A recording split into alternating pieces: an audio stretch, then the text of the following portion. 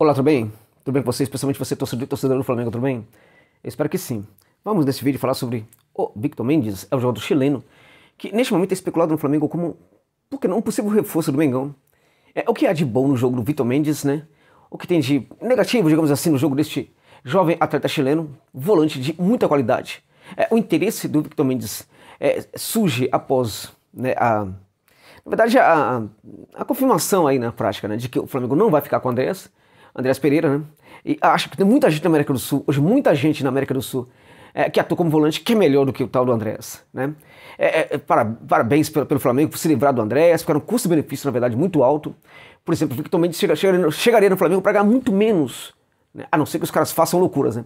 Para ganhar muito menos do que Andrés. E o elenco do Flamengo precisa ser rejuvenescido, é, com jogadores como Victor Mendes e outros jogadores jovens também. Mas é necessário que o Flamengo também pense essa questão dos custos, né? Não é porque tem um grande orçamento que tem que gastar com salários é, gigantescos para alguns jogadores, não. Então eu acho que o Victor Mendes se colocaria assim no lugar do Andrés como jogador, na minha opinião, melhor do que o Andrés e com custo-benefício bem mais interessante para o Flamengo. Além disso, um jogador que tem potencial de revenda futura, uma ótima revenda, deixando claro quando o jogador sai da América do Sul mesmo da Argentina, tá? Mesmo da Argentina, para o mercado europeu, ele tem um valor. Quando ele sai do Brasil, é um valor completamente diferente, né? Então, é, esse jogador, se ele se destacar no Flamengo, certamente é, o Flamengo pode até ganhar dinheiro com ele no futuro também. Victor Mendes é um jogador, como eu disse, de 22 anos. É, ele está no elenco é, da equipe da Espanhola, no elenco principal, desde os 18 anos e 4 meses, quando ele subiu para o elenco principal. Né? Eu já acompanhava quando ele estava na base, né? já fazia parte da seleção sub-20 do Chile, né, quando tinha 17 anos já fazia parte da, da seleção sub-20 do Chile.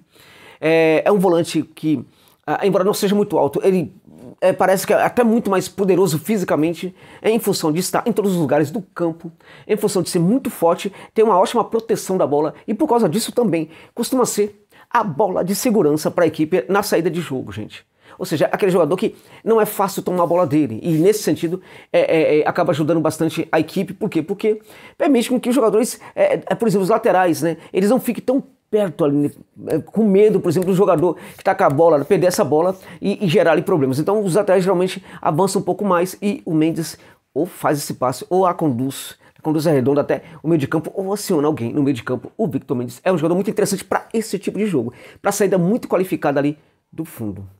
Na base, jogava como? Na base, ele jogava como um, é, um, um, volante bem protetor da, da, da, primeira linha mesmo, gente. Era aquele volante que trabalhava muita proteção da linha, é, muita, uh, sempre cobrindo a lateral esquerda, a, a, lateral direita também. Um jogador que fazia esse trabalho aí, né, na horizontal, muito bom, né, cobrindo os lados do campo. É, e aí, pouco a pouco ele foi também é, fazendo essa condução da bola, né, condução da bola até o meio de campo, pelo menos. Então era esse mais ou menos o perfil dele. Um volante que trabalhava muito bem naquele primeiro campo, né? É, protegendo um lado, protegendo o outro, protegendo a primeira linha, né? conduzindo essa bola ali até o meio de campo, acionando um outro jogador no meio de campo. Este era o jogo do Victor Mendes quando ele estava na base. Quando ele sobe para o elenco principal, né? ele recebe então ali uma comissão técnica diferente, né? que começa a cobrar outras valências dele. Né? Só que a, comissão técnica não acreditava que ele fosse capaz de fazer, de praticar essas valências. Então é, foi deixando ele ali no banco. É num certo jogo, por exemplo, ele entra e pega essa bola e ele faz algo diferente. Ele começa, é, deixa o primeiro campo e começa a avançar também com a bola.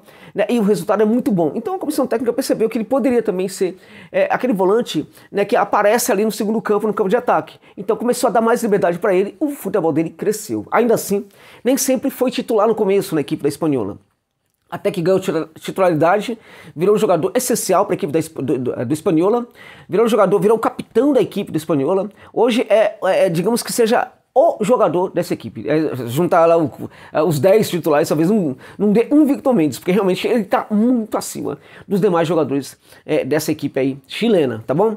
Uh, qual a experiência do Victor Mendes, por exemplo, uh, no futebol? Ele nunca jogou em outra equipe, ele só jogou na espanhola. Este é o ponto negativo dessa contratação. Um atleta que chegaria para o Flamengo, no caso, é sem ter nenhuma outra experiência. Isso evidentemente não anula uma contratação.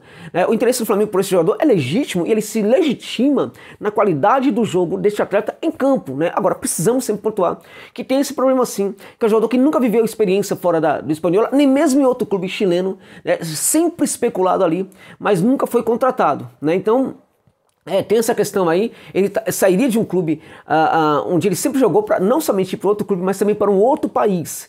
Acho que essa coisa não invalida, mas a, a, a, o que eu sempre falo, é muito importante também se ater a este problema aí, que ele pode sim gerar uma dificuldade aí maior de adaptação, né? O Victor Mendes é aquele jogador que, ao menos dentro de campo, mostra uma personalidade futebolística enorme, gigantesca. O que significa isso?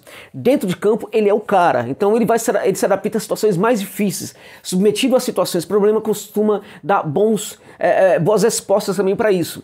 É, é, um jogador que muda muito o jogo, um jogador que entende muito o que está acontecendo, tem ali, sabe, uma, a temperatura do jogo, ele sente muito bem a temperatura do jogo. Então é nesse sentido um atleta bem diferenciado, né? Um cara que tem é, é, uma capacidade, por exemplo, de perceber, por exemplo, os problemas da equipe em campo, se a equipe tem condição de virar um jogo, se a equipe tem condição, por exemplo, de é, lutar apenas por um empate, se a equipe, por exemplo, pode, enfim, buscar uma vitória. É, ele tem esse entendimento como raros jogadores dentro de campo. Isso é personalidade futebolística. E fora de campo? Fora de campo, a personalidade dele é, é normal, não é nada demais, não. Por exemplo, seria muito interessante que se fosse um cara que mandasse muito bem, mas é, ele é muito aquele cara que a gente não fica sabendo muitas coisas dele fora de campo. É, o perfil dele é bastante baixo quando ele está fora de campo. Ele é um leão dentro de campo. Fora de campo, ninguém sabe nada sobre o tal do Victor Mendes. É um cara que ninguém escuta falar nada sobre ele, nem, de, nem coisa boa, nem coisa ruim. Ou seja, acho que é o perfil correto nesse sentido. O importante é dentro de campo. E ele dentro de campo é o leão. O que significa isso? Significa, por ter essa personalidade futebolística, significa que ele pode até se adaptar com facilidade ao Flamengo. Mas precisamos pontuar isso. Tem 22 anos. Nunca saiu da, de uma equipe que é uma equipe média no futebol chileno. Nunca saiu. E isso também tem que ser levado em consideração para essa contratação. Do ponto de vista do jogo, fale um pouco mais sobre como ele joga. Ok, vamos falar. Só que antes disso, quero pedir a sua autorização para abrir um parênteses e falar que este vídeo tem um patrocínio, gente. É importante pro canal, patrocínio aqui também. É o patrocínio da é, OneXBet. OneXBet que é uma casa de aposta mundialmente conhecida. É tida na Europa como a mais respeitável do mundo. É, e se você curte uma aposta esportiva, eu sempre coloco essa questão. Por que você aposta sempre no, nas mesmas casas? Por que não mudar? Por que não ir para uma outra casa de aposta? E nesse caso, por que não ir para o XBet? Ah, o que, que eu ganho lá? Você ganha uma casa de aposta lá que vai te respeitar como consumidor. Não vai ficar tirando mercadinho, suspendendo mercadinho ali no, nos acréscimos da partida. Né? É, vai entregar o lucro, os seus lucros rapidamente, sem nenhuma burocracia. É impressionante como você é respeitado nessa casa de aposta. Agora, estou falando isso para você primeiro. Eu preciso sempre pontuar: aposte sempre com cautela. E vai aposta segura, porque é, vale mais ganhar um pouquinho do que não ganhar nada. Né? Agora, se você realmente curte, é, vai lá até para dar uma força aqui para esse canal, porque esse canal aqui, é, nos momentos de crise, né? É, o patrocinador ajudou muito. Né? Então, até para dar uma força aqui, ah, mas eu já sou cadastrado. Então, é, é, use e abuse é, da OneXBet, que isso também acaba mandando para eles a mensagem que vale a pena investir aqui no canal do José Novales. É, eu não sou cadastrado. Use o link que está na descrição desse vídeo e no comentário fixado para se cadastrar lá no OneXBet e use o código promocional OneXJosa, que é o código que vai falar para os caras: ó, eu vim lá do José Novales. Tá bom? É, é, gente, dá essa força aí, tá bom? Fechando parênteses. Vitor Mendes é um box to box. Quando ele aprendeu, por exemplo, a sair daquela prime do primeiro campo e, e romper, virou um, um, um, volante box to box. Um volante que trabalha muito bem no primeiro campo, um volante que trabalha muito bem no balão do meio de campo, um volante que trabalha também muito bem mais à frente. Aquele volante aqui, numa situação de pressão da equipe, Flamengo pressionando seus adversários. Victor Mendes vai ser aquele cara da sobra, para ficar esperando, esperando uma situação ali oportuna, por exemplo, para pegar essa bola. Se essa bola sobrar, ele vai, por exemplo, né, recomeçar o processo de construção, com passe, com assistência e tudo mais. O passe longo dele, como é que é? Excelente. O passe longo dele é excelente. É pelo alto, pelo alto, fantástico. E por baixo também. É bom, sim, é bom. Né? E o passe curto dele também é muito eficiente. E quando ele está perto da área, é, espere pelas assistências. Quando ele está perto da área, espera pelas assistências. Mas como ele é um jogador que ele sempre vai ficar ali é, é, é um pouco à frente dessa, desse, é, é, desses jogadores do ataque, dessa linha ofensiva que está pressionando ali a área do adversário, ele é um jogador, sobretudo, que se destaca, na minha opinião, muito mais pelas pré-assistências.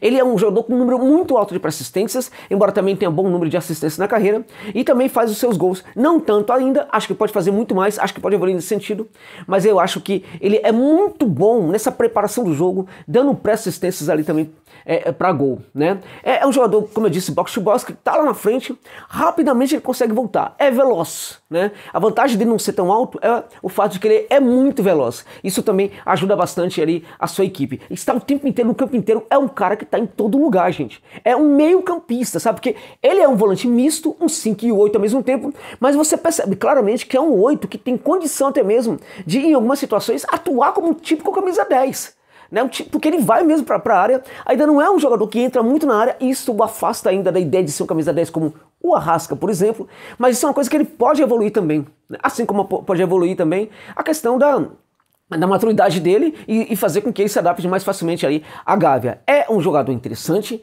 eu acho que potencialmente é um jogador pelo valor vale a pena, é, não acho que custa os valores que estão ali no Transfer Market e outros sites de precificação, 2 milhões a 2 milhões de, é, de euros, 2,2, para mim é, é, uma, uma contratação em torno de 3,600 pelo menos, é, esse seria o valor do Victor Mendes neste momento. É, é o jogador da seleção chilena, já há um bom tempo na seleção chilena. Sim, ele é novo. Sim, ele tem 22 anos. Sim, só jogou na espanhola. Sim, mas desde os 18 anos e 4 meses ele está no elenco principal. E é o capitão, é o cara que manda, é o cara que assim, é o cara dono da bola. É, joga na equipe que ele quer.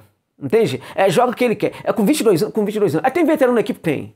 Tem veterano na equipe mesmo? Tem. É, o cara. É, é, olha lá. Aqui, ó. Come na mão do Vitor Mendes. Então é o cara, por exemplo, que. É, é o seguinte. Ele manda. É, lá no União Espanhola ele manda. Então é claro que não vai chegar no Flamengo para mandar, assim tal, mas ele vai pode perfeitamente se adaptar né, e chegar também a ser um desses jogadores líderes ali dentro de campo, líder do bem. Então é muito importante pensar no perfil desse jogador, porque o Flamengo nesse caso também estaria não somente reformulando o elenco, gente, mas baixando a idade. Porque o Flamengo precisa baixar a idade do elenco com urgência, porque tem muito velhinho aí, né, que precisa se aposentar. Alguns até que já estão aposentados e ninguém percebeu.